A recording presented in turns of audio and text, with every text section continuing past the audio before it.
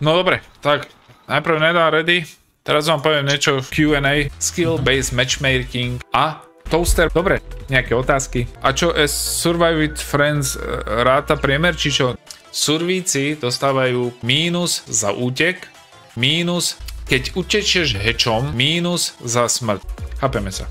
Akého killera vám to priradí? Keď máme Elo 1000, 2000, 3000, 4000, tak ti priradí toastera. Aby ste vedeli, ako funguje. Ďalej.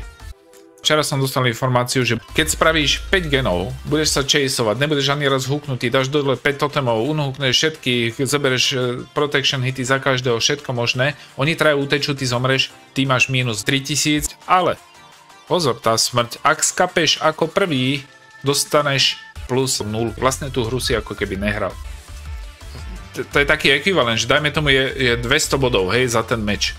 Minus 200, keď utečeš, minus 1000, keď utečeš hečom. Takže, ako sa to počíta na asymetrickej hre, keď utečeš hečom, celý MMR je počítaný, prosím vás pekne, ako noob base matchmaking. To je jedno, že ty si spravil max pre tú hru. To je jedno, že ty si ten dôvod, prečo ona mohla utiecť. To je jedno, že ty hráš versus killer. To je jedno, že Jakub hrá versus killer. To je jedno, že aké situácie vyriešiš. To je jedno, že aké 360 robíš. To je jedno, že utečeš alebo neutečeš. To je jedno, že dovidenia. Killer nedostane za teba body, ty nedostaneš body za útek, dovidenia. Proste ty nevieš. Keď ideš do hry, nevieš, či ten hráč je slabý alebo silný, keď ho dá k tebe. Je približne na tom rovnako jak ty. Ale e, ty dostaneš, keď dáš brutálne dobrú hru 32 tisíc, utečeš, je to to isté ako skapeš ako prvý. Takže tak, dobre, Antik ahoj. Ďalej, Toaster sa bude upravovať, je to vo fázi sledovania. Samozrejme neplatí to pre Lična, ktorý má nafetovaných 3000 hodín roztrepeťa, či je slabý ten killer alebo nie.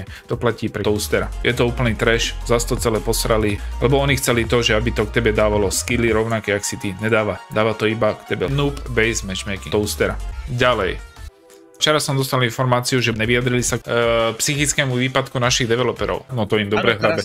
Ďalej už nič, žiadna informácia o hráčovi nehovorí o tom, či má skill. Ani hodiny, ani rank, ani skill-based matchmaking, ani za útek, ani keď utečieš hečom, ani za smrť, ani kľúčikári, ani ghostface, ani count base, ani ani Jakub, ani Toaster, ani Legion, ani rovnaký skill, ani ani nič, ani skiniený hovno. Som dosť sklamaný z toho a nehovorí to nič o tom, že dostane proti sebe 8000 hodinovú Norsku, neznamená to, že je tak dobrý ten survík, že dostal proti sebe takého hráča, ale znamená to, že on dal málo kilov a ty málo útekov. Takže, aby ste boli v obraze, ako funguje v úvodzovkách skill, čo je skillové na tom, že utečeš. Ďalšia zmena toastera sa neplánuje.